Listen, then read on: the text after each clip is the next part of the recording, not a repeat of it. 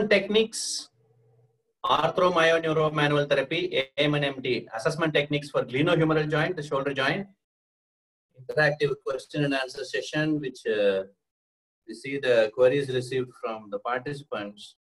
Okay.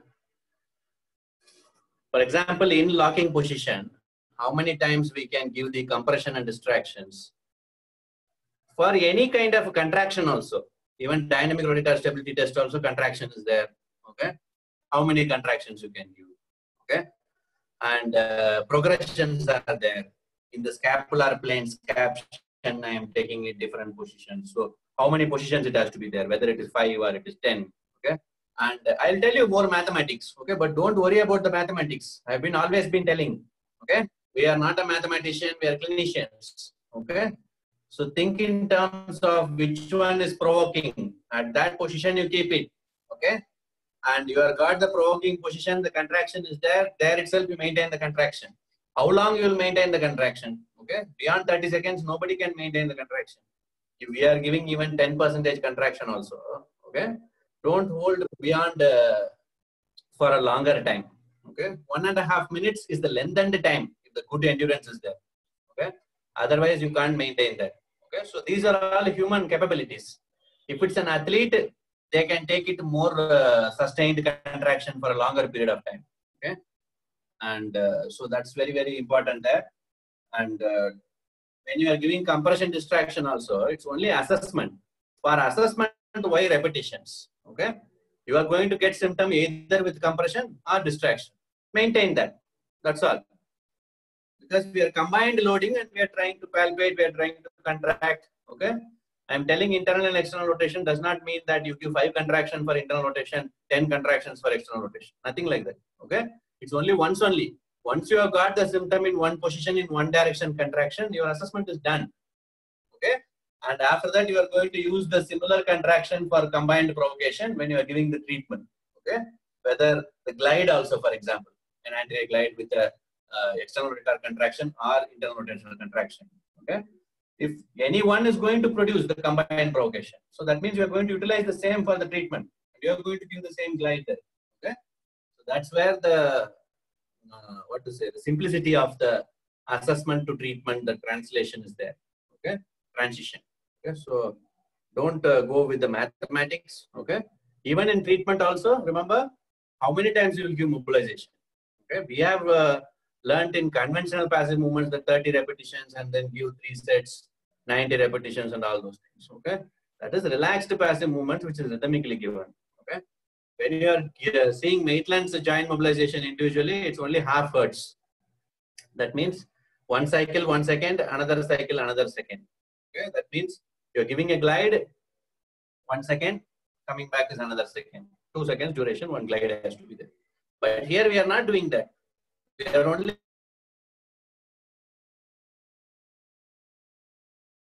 you should be aware that we are maintaining but not at the grade 3 okay where the tissue stop is there. You are maintaining in the mid range okay that before the grade 2 okay. So there you are maintaining so you are going to maintain for a longer time okay? it's like a sustained uh, mobilization with movement like how Mulligan uh, advised okay. That's the modification. So there is no mathematics there okay. What you want to see is in which combination how much loading which tissue is getting provoked or not okay? Whether it is articular tissue is getting provoked or myofascial or it is neural. If it is not getting provoked with 10 contractions you will do 20 or 30 okay? Because your hypothesis is with repeated contractions okay? And uh, you might sustain the contraction for a longer time. You might sustain the contraction with higher intensity okay? Same way you suspect it is articular, you will sustain the compression. You will not do repeatedly. Okay?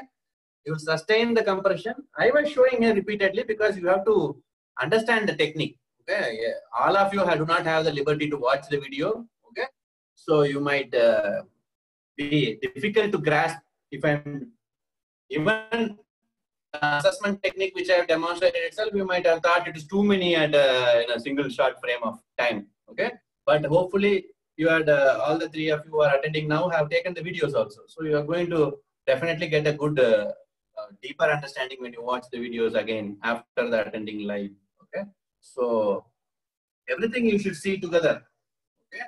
And uh, although there are too many, okay, it is the thinking process that should happen in the mind of the therapist. Okay. Why internal rotation is more? No. During internal rotation, why the arm is going into extension? Okay. That means it's a muscle which extends and internally rotates. Okay, latissimus metatarsal. Okay. So that should be the process. Immediately that uh, kind of uh, structure comes, then uh, you are going to get what is called as the decision making uh, skill which is more time uh, efficient okay and your uh, error will never come okay it's not a trial and error okay we keep doing assessments we already have a hypothesis strongly that this must be articular primary myofascial secondary and neural tertiary okay so in that scenario you have to provoke the articular so with compression if it is not getting provoked you should do the distraction okay if uh, compression also not getting provoked, you should do the, the, glides with the compression. Okay. If it is frozen shoulder and you are evaluating. Okay. And the same way, like uh, if it is uh, instability and then you are evaluating as a long term for AMNMT, you will do the distraction and then you will do the glides. Okay.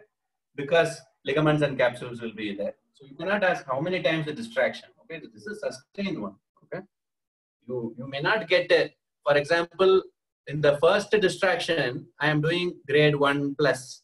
Okay. The second distraction, I am doing 2 minus. Next 2, then 2 plus. Okay. Like that, I give the distraction. Why? Because I am incrementally loading the tissue when I am distracting. Okay. So that's why I would have done 5 times. Okay. And also to make you understand the technique repetition okay, when you are evaluating. It does not mean that you have to give 5, 6 times. If patient is, uh, you are strongly suspecting that it is repetitive loading, you can give repeatedly compression, compression, compression. Okay.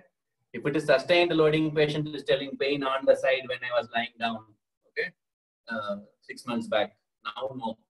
That means you know it is sustained compression. So you want to reproduce that symptom, you have to do the sustained compression only, not repetitive. Okay. So it depends on the uh, intervening pathomechanics. Yeah. Remember, the internal rotation deficit can be articular or myofascial. Okay. Rule of AMNMT to differentiate articular and myofascial is contraction. Okay. So you give hold relax, and if the range improves, it is muscle tightness. Okay. You give hold relax and the range is not improving, capsule. End feel will be capsular, end feel will be muscular. Okay. Muscular end feel is like uh, uh, elastic recoil okay? Capsular end feel is like abrupt uh, hard stretch okay? There won't be recoil okay? That is muscle uh, versus capsule. And muscles uh, pain will come in the evenings which is more of overuse okay? Myofascial pain. Whereas capsule will come as clicks okay? If there is capsule adhesion and contracture it will be more of uh, stiffness okay in specific ranges it will be stiff other ranges it will be uh, what is called as uh, excessive movement. Okay, if posterior capsule tightness is there, anterior instability can come. Okay, it is uh, that kind of an opposite picture will also be there. So that's why in anterior instability we might have to stretch the posterior capsule. Okay, and uh, posterior capsule it can be the posterior cuff also infraspinatus or the teres minor. Okay, how do you differentiate? I have told you the infraspinatus position, teres minor positions. Okay, but if it is posterior capsule, it's only this position with the internal rotation and posterior drawers. Okay, that is the posterior capsule stretching. Okay, uh, what we do in side lying versus what we do in standing.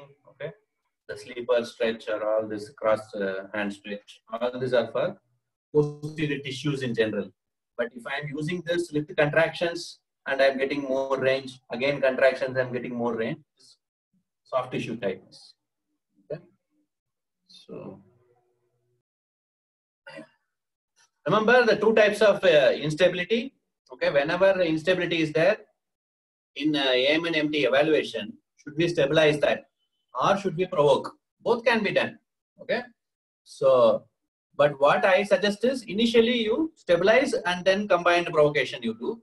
Okay, just for safety of the patient, and uh, you know that the excellent control is there in the patient. Motor control activation is present, rotator cuff centering is present, okay? dynamic rotator activity is also present. Okay. All this, you do that with the provocation. Next one you provoke with the distraction and then the glides. Okay, uh, when the muscle contraction is there. Okay, so that means you are giving resistance for the rotator cuff. Okay, you are pulling the humerus and asking the person to contract rotator cuff, and you are giving challenging force of gliding. Okay, so that is needed. Then only functionally that kind of challenge will come in any kind of sports activity, and the rotator cuff will be active. Okay, the reaction time will be good.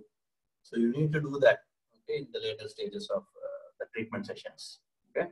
Either way, evaluation, you will always understand that safety of evaluation comes when the stabilizers are active and then you are provoking with the joint play.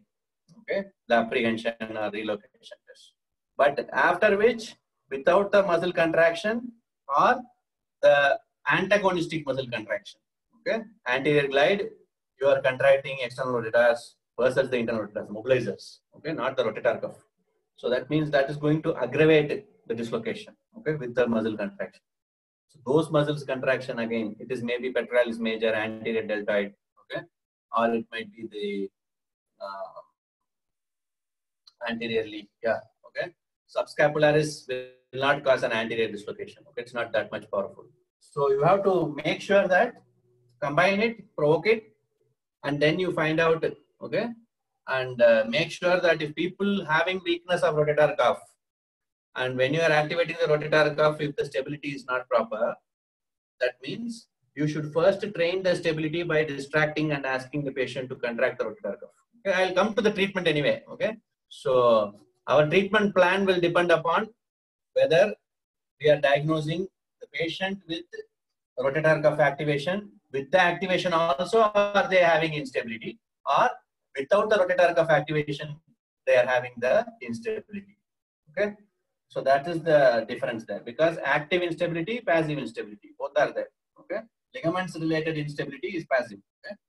That is influenced by mobilizer muscles contraction. If it is a muscle related instability, it is the stabilizer muscles weakness. Okay. The endurance issue which leads to the instability. Okay. So that's why both the components need to be checked. And when you check, uh, add the neural loading, okay, and also contraction when you are giving the glides, okay, specific directions, okay. So, where are we now? Okay.